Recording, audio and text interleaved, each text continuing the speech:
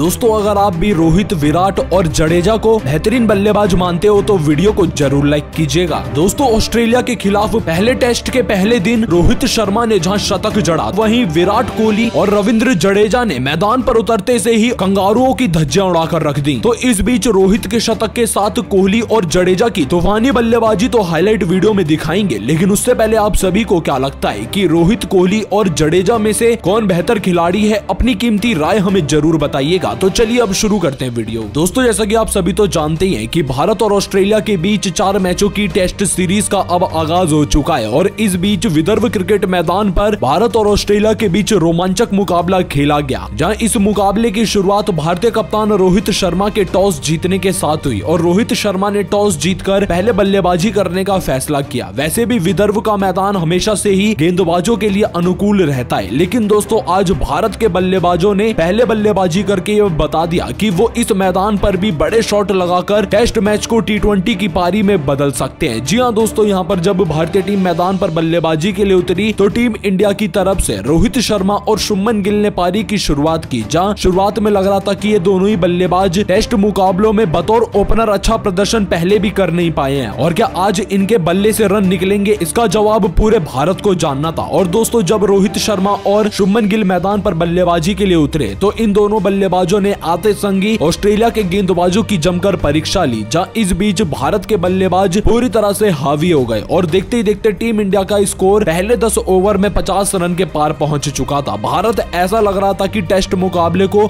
T match बनाकर बल्लेबाजी कर रहा हो और ऐसा ही प्रदर्शन आगे जारी रहता है और देखते ही देखते यहाँ पर शुभमन गिल अपने अर्धशतक की तरफ़ आगे बढ़ रहे होते हैं और बयालीस रन की पारी पर वो टिके हुए थे। लेकिन दोस्तों, यहाँ पर टीम इंडिया को पहला झटका शुभमन गिल के रूप में लगा, जो कि 48 गेंदों में 42 रन बनाकर आउट हुए और शुभमन गिल को ऑस्ट्रेलियाई कप्तान पैट कमिंग्स ने नाथन लियोन के हाथों कैच आउट करवाया और भारतीय टीम को यह पहला बड़ा झटका लगा और शुभमन गिल के आउट हो जाने के बाद अब बारी थी अगले बल्लेबाज, यानी कि चितेश्वर पुजारा की इस मैदान पर कुछ कर दिखाने की और रोहित शर्मा का साथ देने की। दोनों बल्लेबाज शुरुआत में सही दिखाई दे रहे थे, लेकिन दोस्तों इसी बीच चितेश्वर पुजारा के रूप में भारत को दूसरा झटका लगा, जहाँ चितेश्वर पुजारा इकतालीस गेंदों में अट्ठाईस रनों की पारी खेलकर आउट हुए और वो स्लिप में खड़े डेविड वार्नर को कैच थमा बैठे, जिसके चलते भारत को ये दूसरा बड़ा झटका लगा। और अब टीम इंडिया ने अपने दो बड़े विकेट गवा दिए थे। भारतीय टीम दबाव में थी कि आखिरकार अब कौन बल्लेबाज यहाँ अच्छी पारी खेलेगा। एक तरफ़ जहाँ रोहित शर्मा अपने शतक की ओर आगे बढ़ रहे होते हैं तो वहीं दूसरी तरफ़ एक के बाद एक विकेट गिर जाना भारतीय टीम के लिए मुसीबत खड़ी कर रहा था। लेकिन दोस्तों, यहाँ पर विराट कोहली ने रोहित शर्मा के साथ मिलकर पारी को संभाला, जहाँ इस बीच रोहित शर्मा और विराट कोहली के बीच शतकीय साझेदारी भी देखने के लिए मिली। और इस बीच रोहित शर्मा ने अपना शतक भी पूरा किया और शतक जड़ने के बाद रोहित शर्मा ने अपनी आक्रामक पारी खेलना शुरू कर दिया, जहाँ रोहित शर्मा देखते ही देखते 100 रन बनाने के बाद 150 के पार पहुँचे और फिर 200 रनों के करीब बेहद ही वो पहुँचने वाले थे। लेकिन इसी बीच भारत को तीसरा बड़ा झटका रोहित शर्मा के रूप में लगा, जहाँ कप्तान रोहित शर्मा फुल शॉट लगाने के चक्कर में अपना कैच थमा बैठे और यहाँ रोहित शर्मा ने 210 गेंदों में एक सौ चौरासी रनों की पारी खेली और अपनी एक सौ चौरासी रनों की पारी में उन्होंने सात चौके और चार बड़े छक्के भी लगाए। जैसे कि आप सब यहाँ पर देख भी सकते हो। और वहीं दोस्तों, रोहित शर्मा के अब आउट हो जाने के बाद भारतीय टीम दबाव में थी। और यहाँ पर एक तरफ़ जहाँ विराट कोहली ने पारी को संभाल रखा था तो वही अब दूसरी तरफ़ सुरेश अय्यर मैदान पर उतरे। जहाँ वो भी कुछ ज़्यादा खास कमाल कर नहीं पाए और सुरेश अय्यर के रूप में टीम इंडिया को चौथा बड़ा झटका लगा, जहाँ सुरेश अय्यर बहत्तर गेंदों में मात्र पैंतीस रन ही बना पाए। लेकिन दोस्तों, विराट कोहली अभी भी भारतीय पारी को आगे बढ़ाने का बखूबी रोल निभा रहे थे। और विराट कोहली की बल्लेबाजी इतनी दमदार थी कि वो अपने शतक पर मात्र नब्बे गेंदों में ही पहुँच चुके थे और विराट कोहली ने अपनी शतकीय पारी में बारह चौके और दो छक्के भी लगाए थे। जैसा कि आप सब यहाँ पर देख भी सकते हो और विराट कोहली का फॉर्म हम सभी को दिखाई दे रहा था। और वही दूसरी तरफ़ अब उनका साथ निभा रहे रविंद्र जडेजा ने भी ताबड़तोड़ बल्लेबाजी करना शुरू कर दिया और इन्होंने तो सही में टेस्ट मैच को टी ट्वेंटी बनाकर रख दिया, जहाँ इन्होंने टेस्ट मुकाबले में सत्तावन गेंदों में बहत्तर रन की पारी खेली और इसी के साथ पहले दिन का खेल समाप्त हुआ, जहाँ भारतीय टीम का स्कोर पूरे नब्बे ओवर के बाद चार विकेट के नुकसान पर चार सौ अट्ठासी रनों पर पहुँच चुका है। और दोस्तों, हम आपको बता दें कि भारत और ऑस्ट्रेलिया की टीम के बीच ये टेस्ट मुकाबला बेहद ही रोमांचक मोड़ पर आ गया जहाँ भारत और ऑस्ट्रेलिया के बीच ये पहले टेस्ट मुकाबले से ठीक पहले खेला गया इंटर स्क्वाड और अभ्यास सत्र का मुकाबला है, जो कि कुल मिलाकर पाँच दिन का होगा। और आज ही के दिन से भारतीय टीम ने अपनी प्रैक्टिस सेशन को भी शुरू कर दिया है। और भारत की ऐसी बल्लेबाजी देखकर ऑस्ट्रेलियाई गेंदबाज भी ज़रूर घबरा गए होंगे कि आखिर अगर ऐसी बल्लेबाजी भारत ने पहले टेस्ट मुकाबले में कर दी तो ऑस्ट्रेलिया की टीम का न जाने क्या होगा। तो दोस्तों दोस्तों, यहाँ पर अब आप सभी क्या मानते हो कि भारतीय टीम की ऐसी ताबड़तोड़ बल्लेबाजी को देखने के बाद और आप भारत की बल्लेबाजी को दस में से कितने नंबर दोगे? अपनी कीमती राय हमें नीचे कमेंट में ज़रूर बताइएगा। लेकिन दोस्तों, आपको बता दें कि इससे पहले टीम इंडिया के लिए काफ़ी अच्छी खबरें निकल कर आई थी, जहाँ चार मैचों की बॉर्डर गावस्कर ट्रॉफी में जसप्रीत बुमराह की वापसी होने पर संचय जो बना हुआ था, वो अब टूट चुका है। और जसप्रीत बुमराह हम सभी को भारतीय टीम में शामिल होते हुए नज़र आएँगे। लेकिन दोस्तों, आपको हम बता दें कि सिर्फ़ मात्र टीम इंडिया में एक यही बदलाव नहीं है। अब भारतीय टीम में कुछ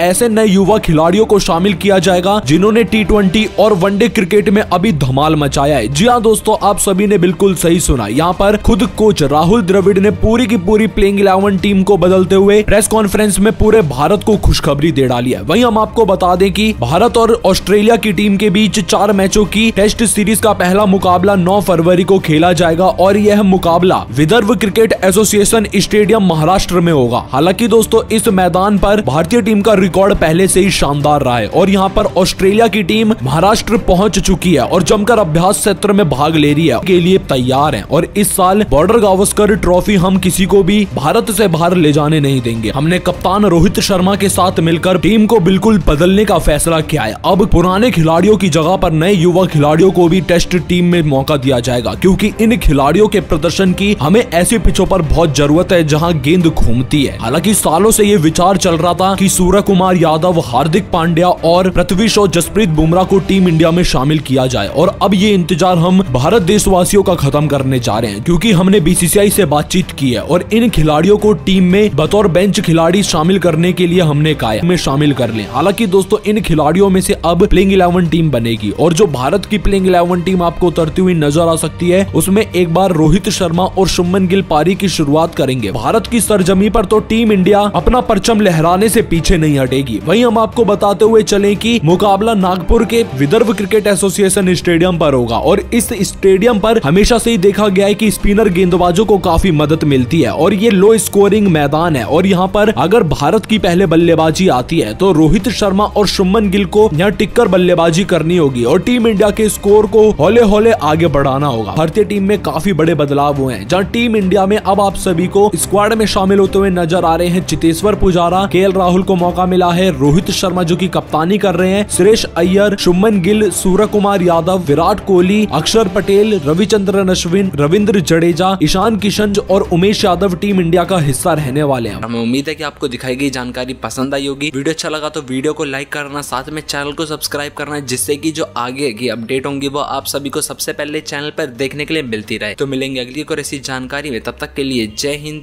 जय भारत।